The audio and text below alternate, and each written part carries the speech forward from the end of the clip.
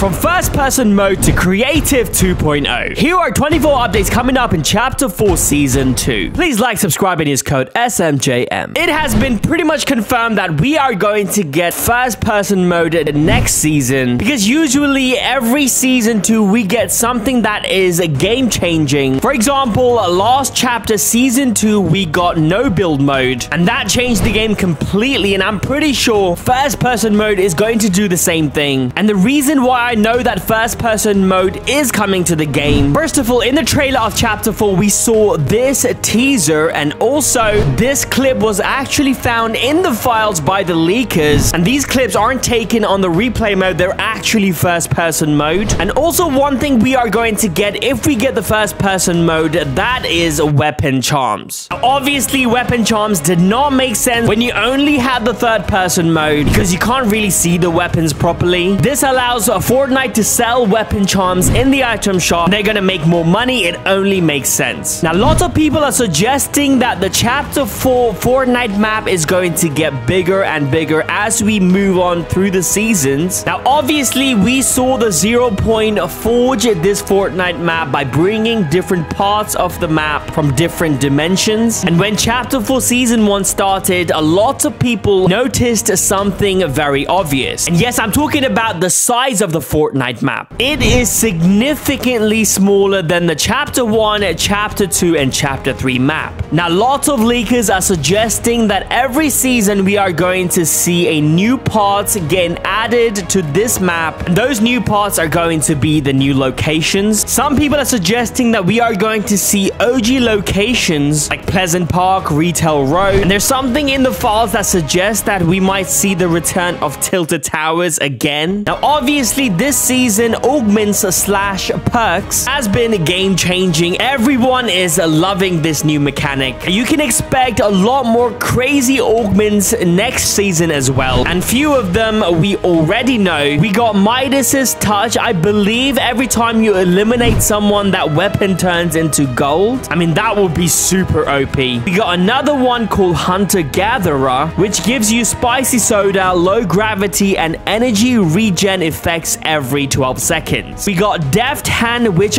auto reloads a specific unknown weapon every second, even if you switch away. We got one that gives you icy feet, and there's one called Rift Ejector Seat, which auto rifts you every time your shield breaks, but you will have 40 seconds cooldown for this. And Shadow Strikes gives you Shadow Bomb. We might get new motorcycles next season. Now, obviously, this season, a motorcycle was a big part of the update update. They're small and easy to ride, but next season we might get faster motorcycles because Fortnite are working on two different motorcycle types, a cruiser and sport. Now currently we only have dirt bikes, which is good off-roading, but they're not very fast. If you look at all the cars, we have cars that is like off-road, and we have cars like Whiplash, which is you can drive on the road and they're very fast. So the sport bike is going to be very fast, but you can only ride them on the road. And I guess Cruiser is going to be like in between Dirt Bike and Sport. Now, next season, we might get a collaboration that was mentioned almost two years ago by Donald Mustard. I'm talking about MODOK. After the Galactus event, Donald Mustard said that this was just the beginning of Marvel collaborations. And he mentioned he'd love to do something with MODOK. Now, if you guys don't know, MODOK is a villain from the Marvel universe. And the majority of this person is just his head. And we saw the first glimpse of MODOK on Ant-Man vs. Wasp, the Quantumania trailer. Apparently, this is just going to be an introduction. Apparently, he's going to play a huge part in the MCU. So it only makes sense for Fortnite to do a collaboration. And At this point, Fortnite has kind of become like part of Marvel Universe a little bit. We have pretty much every Marvel characters. Now, another funny guy we might see next season is a Family Guy. Now, according to Hypex, Fortnite has been working on a male skin uh, codenamed French Fry. They found a scene of Peter Griffin versus the chicken in the files. Now, this isn't the first time we've heard about the Family Guy collaboration. If you remember a few seasons ago, Fortnite did an Unreal Engine stream in which they leaked a bunch of characters and collaborations. For example, Darth Vader, Indiana Jones, Doom. Obviously, so far we have seen all of those collaboration happen except for one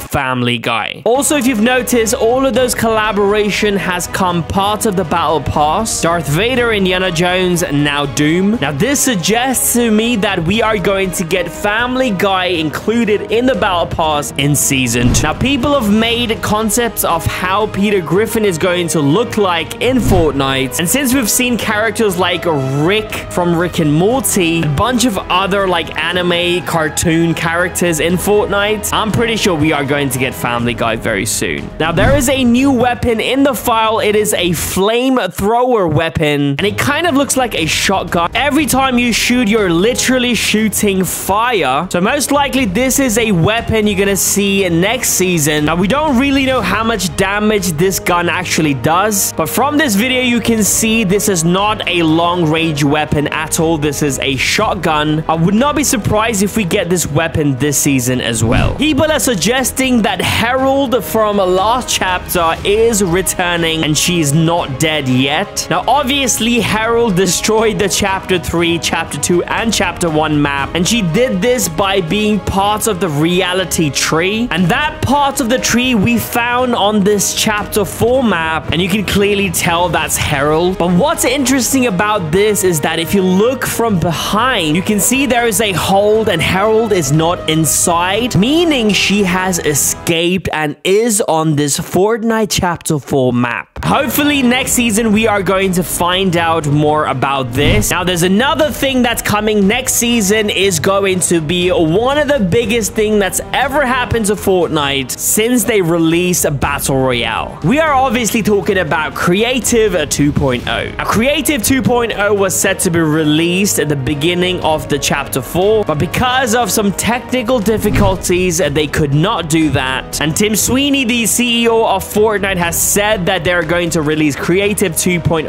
around Season 2. Now, even before Creative 2.0, right now we have seen a normal Creative create amazing maps. And I believe this is going to be the future of Fortnite. Just like Roblox right now, you can literally create any game. You will be able to create anything in Fortnite. For example, you can create a Chapter 1 map or Chapter 2 map, and you can create your own weapons as well. Now, you might be wondering what happened to the Seven. It looks like Paradigm and bunch of her friends are going to find the Seven by creating a rift gate. Now, this guy right here is called Stalin. He is building a rift gate, and it is being commissioned and ordered by Geno. And the rift gate will have the power to access into different uh, realities, and Paradigm is going to use this gate to go into the reality wherever the scientist and rest of the Seven is stuck. They're all going to be brought back to this chapter. Now, this looks like the build up to the live event because we already know this rift gate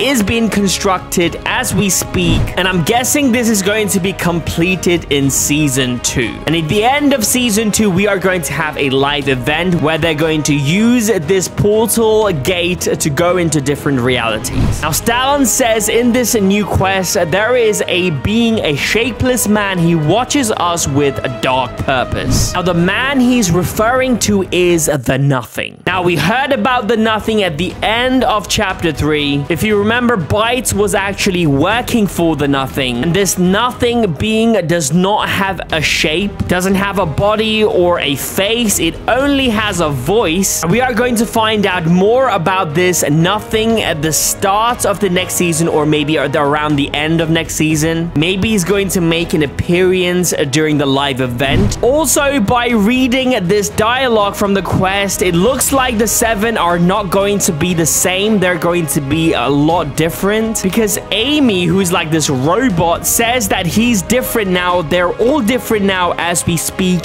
They change. And when she says they, she's referring to the seven. So it looks like next season we are going to have a brand new seven skins. again. Also, she says that there's a possibility they might all be evil now because of the Chrome. We've all been like brainwashed. There's a possibility we might have to like go against them to fight them or defeat them to break their curse or whatever to bring them back to the good side. Because obviously we all love the Seven, the Foundation, and all of the members. I'm excited for season two. Let me know in the comments down below if you are, and please like and subscribe and use code SMJM. Peace out.